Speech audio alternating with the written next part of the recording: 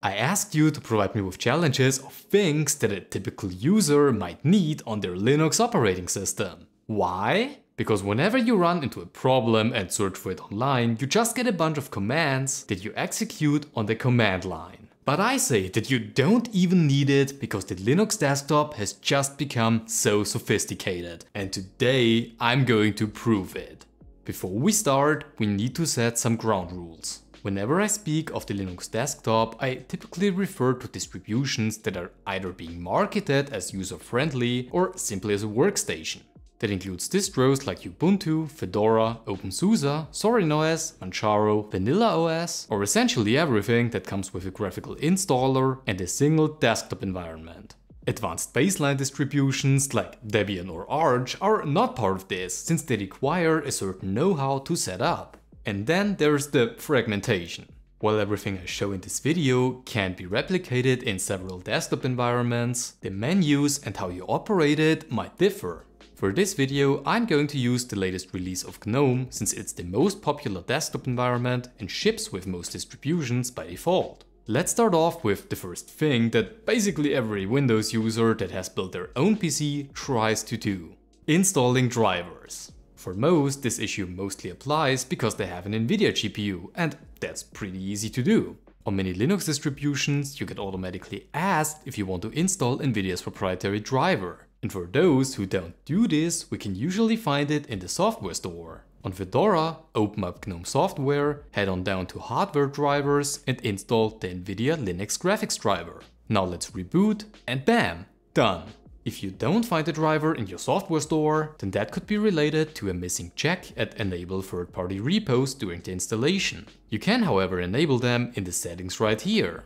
On Debian-based distributions like Ubuntu, that's also the way how you can add more repositories. Another question that came up quite a lot was how you can install Windows applications with the compatibility layer Wine. Quite easy. You can watch my last video about how to install game launchers on Linux, where we use an application called Bottles that can also be used to install Windows apps. While not every Windows program will work, a lot of software does tend to do so. Connecting a printer. Okay, so for most personal printers, the experience on Linux is quite interesting. Check this out. Connect it via network or USB cable, open the settings, go to printers, and it's either already there or you can add it manually. If you do, then Linux automatically tries to find compatible drivers for it, which it usually finds, and you can start printing, scanning, or whatever else it can do. If it still fails to do so, then you can try to select the driver manually from the database, or use a PPD file, if that is something that your printer came with.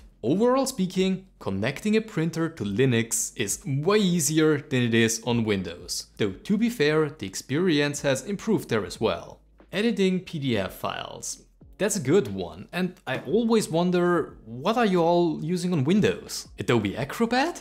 Anyway, some desktop environments like GNOME already come with a PDF reader, which allows you to highlight or even write text on a PDF, which you can save afterwards. If your desktop environment or distro doesn't have such an application pre-installed, then you can also just use Firefox. Simply open the PDF with it, write some text, draw on it and add your signature in form of an image and save it. For all of you who want to do even more, then the best program that I discovered personally is LibreOffice Draw. While it isn't a PDF editor per se, it's capable of doing everything that Firefox could. You can attach more PDFs by dragging them in, adjust them in size, remove sites completely, and much, much more.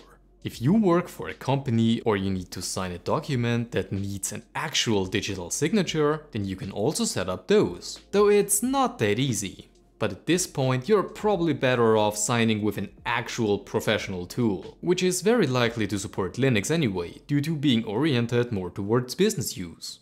Screen sharing, recordings and screenshots. On most desktop environments, very easy nowadays. For screenshots, the universal hotkey is the print key, which should bring up a screenshot tool or overlay. Nowadays, those solutions also allow you to straight up record videos of your desktop for instructions. Or if you want to use a proper solution, then you can just use OBS, the universal standard for streaming and recording.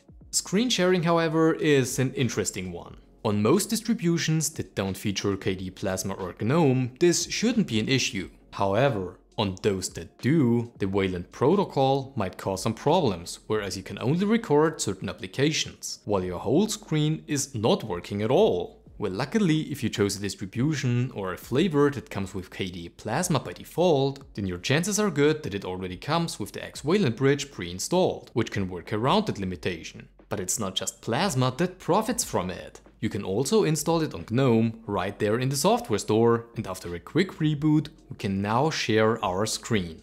Some of you also want me to take a look at partitioning and mounting additional storage disks. And yes, you also don't need the command line for that. With a tool like GNOME Disks or the KDE Partition Manager, we can shrink and extend partitions, format drives or USB sticks, and also edit the mount options. I, for example, have three additional drives in my system, which I automatically connect as soon as my PC starts up. All you need to do is to deselect the user session's default, enter a mount path like slash mnt slash a name you want and identify it by its UUID so that it always gets associated with the right directory. Done! By the way, you can also back up your drive to a disk image or speed it up by enabling writing caches, though it already states why it's a bit riskier. A lot of you also asked how to connect network shares or even share directories yourself. Connecting to a network drive is as easy as opening up your file browser, head on to network or in GNOME other locations and add the share like so. Type SMB or the corresponding protocol you need, double point, two slashes and then the IP address or the host name of your system and the share name. You will be asked for authentication if it's protected and you're done. For quick access, you can also drag it to the bookmarks and the share will now be automatically mounted as soon as you press it. If you need to access your share in a program that comes with its own file picker like DaVinci Resolve, then you can find your share in the following path. One thing that I need to mention here however is that KDE Plasma does it a bit differently. But hey, we can also head down the traditional path and edit the slash etc slash fstab file. But hold on there. We need to use the command line for that, right?